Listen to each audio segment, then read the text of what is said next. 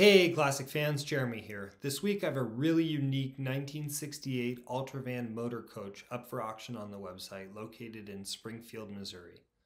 This Ultravan has had an interesting life across the country, which has traveled 56,512 miles and can be read about on the vehicle listing. Each coach was manufactured with a three digit listing number.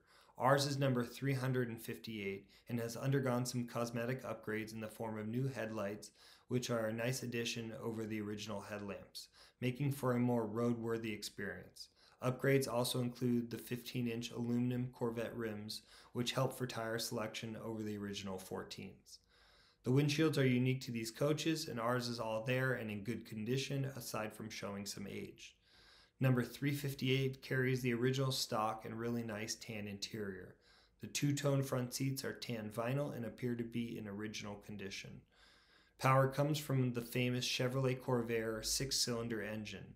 The rear-mounted engine transfers power via a transaxle based on the Powerglide transmission. Unique and cool is the geometry of the front suspension, which allows the wheels to turn 50 degrees, which provides a shorter turning radius than some trucks. For more information and a pre-purchase inspection, the vehicle listing can be found at Clasiq.com or click below in the video description on the link. Thanks for watching and good luck bidding.